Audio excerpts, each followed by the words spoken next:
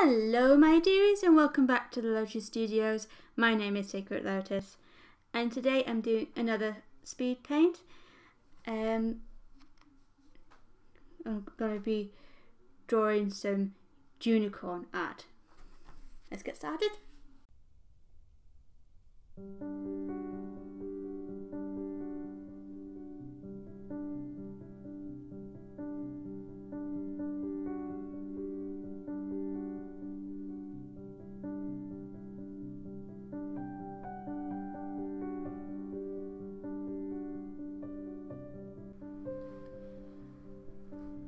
Right. Um, the I, for those of you for those of you who don't know, um, Junicorn is one of the one of them year one of them month long art challenges where you draw a picture every day according to the theme of the challenge. Junicorn, it, the theme of Junicorn is to draw a unicorn picture for every day of the month of June. But I didn't have time to do a unicorn picture every day because I had a couple of other things planned to do for the channel for this month. So I thought along with my art study, I will use it to work my way up to drawing unicorns. Because, in a way, they fall under the category of equine animals. And so I thought that unicorn would match the theme. And vice versa for for the equine animals.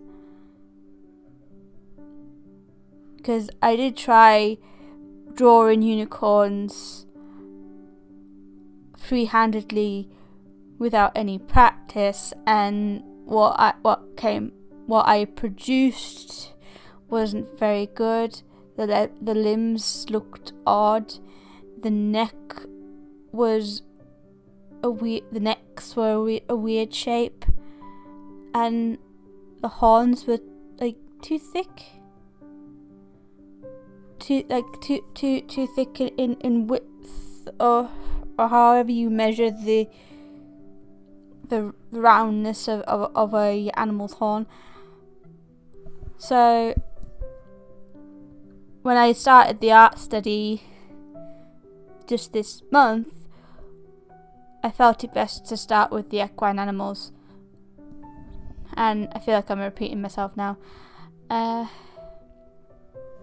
so, after I had been at it with the, ho- the horses, practicing drawing their bodies and the shapes of their heads, I started to, to experiment with ideas for the unicorn piece that I had planned to do this month.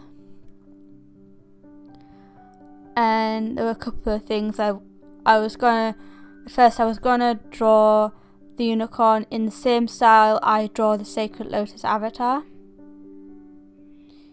with string neck, arms and legs. And other ideas I would draw a bit more bit more realistic with proper arms and legs, proper body. And I was gonna, ha- I was uh, experiment with different positions, and in the end, the one I went with seemed to work the best.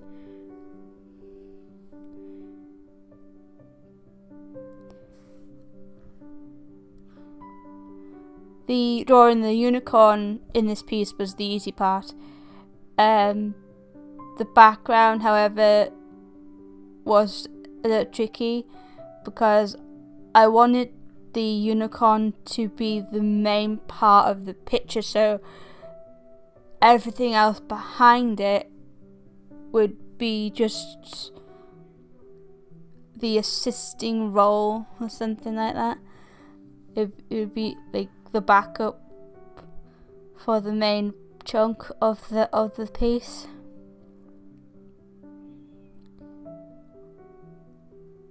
So I feel like it didn't the background in this piece didn't turn out as well as I wanted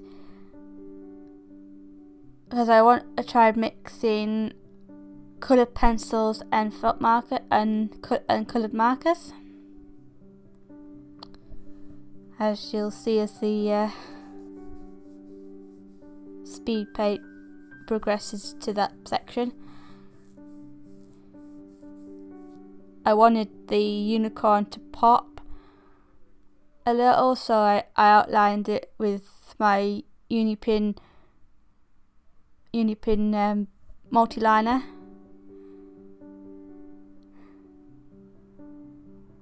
And I wanted also wanted the um, mane of the unicorn to have movement so I had it whipped out behind it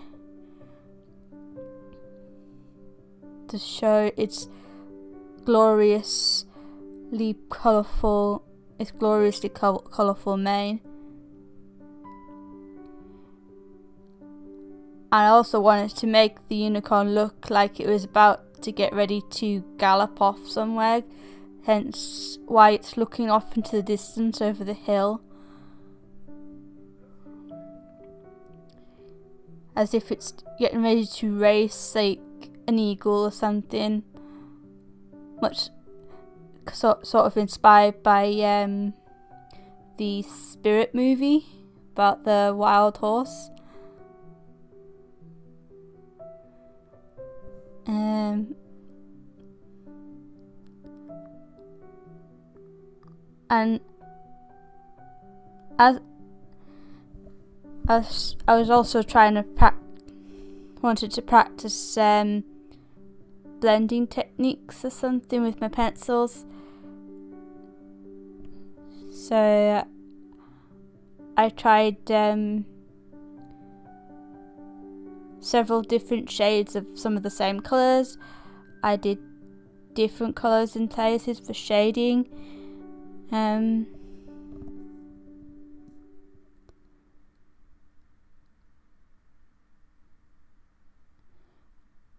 at one point I wanted to I, I had thought of um, giving the unicorn rainbow coloured mane but then I thought that would might might be too much so I kept two three main colours for its hair for its mane and tail and gave it gold hooves and horn and keeping majority all of its coat completely white with a bit of grey for the shading.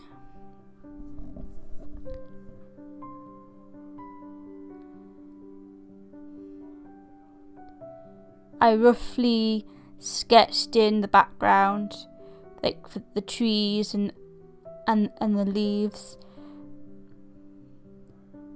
and I decided to go in later with the coloured pencil and let the roots appear where they wanted.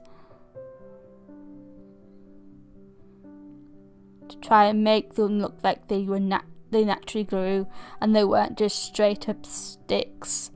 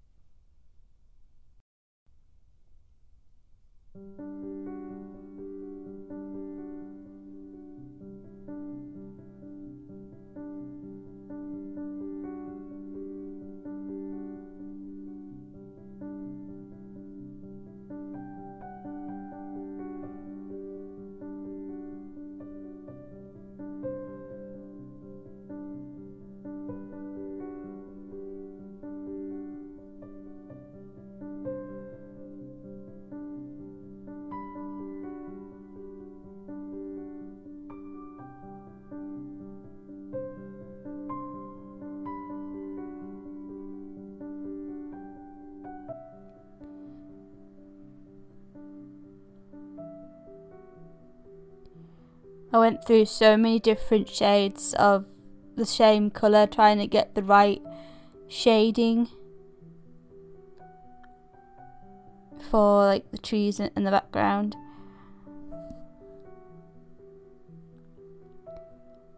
And I mixed like a couple of different colours for the leaves of the trees and to try and separate them because I just like I coloured in the shape of the tree as a of the treetop as a whole rather than the individual leaves. And I went in a bit later with a coloured marker to dot in some possible leaves. Although I don't know whether the markers made it or breaked it. Um, it's probably a picture I'd have to redo one day because when it was finished I wasn't 100% fit, satisfied with it.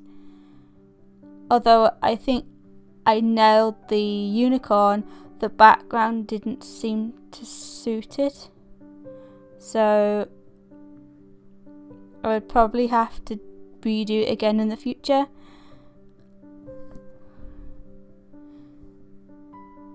and put the unicorn in a different scene. I had originally maybe thought to put the unicorn in an open field, like in front of a lake or something, but I felt that would probably be too generic, so I went with the hilltop scene with the unicorn on a dirt path.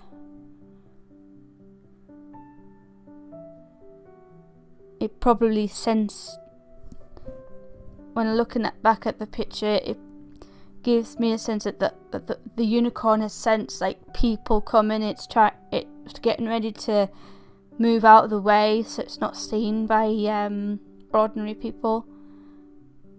Because being a, such a rare creature it doesn't want to get trapped by the hand of man and end up being hunted for a trophy or anything like that.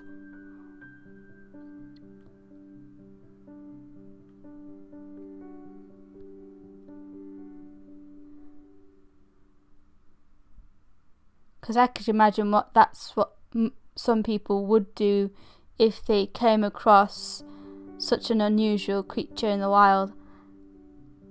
Some people would welcome a sight of a of a of a, li- of a of a living unicorn, while others would probably see it as an opportunity to exploit and make money from it.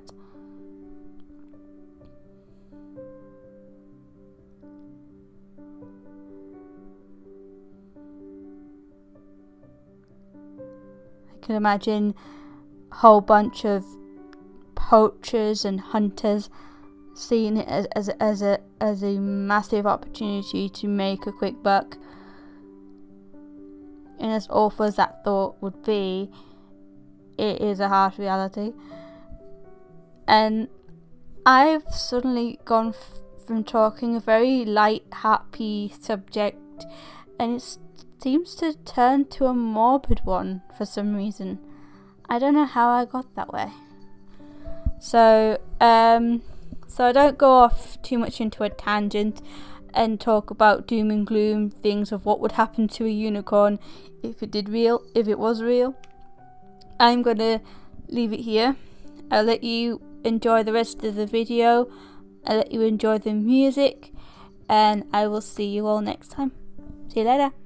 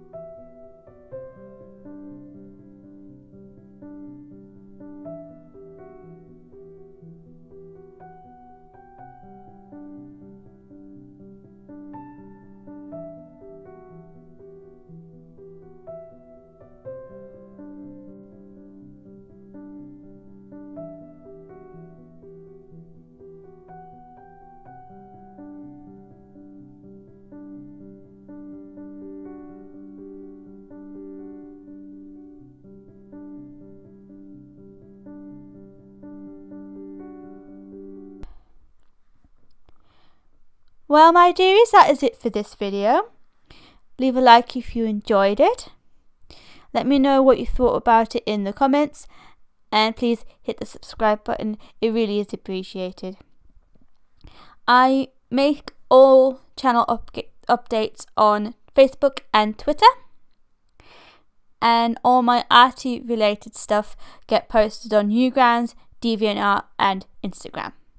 I'll leave the links for all those in the description box. Thank you very much for watching, and I'll see you all again, all, all again. Bye bye.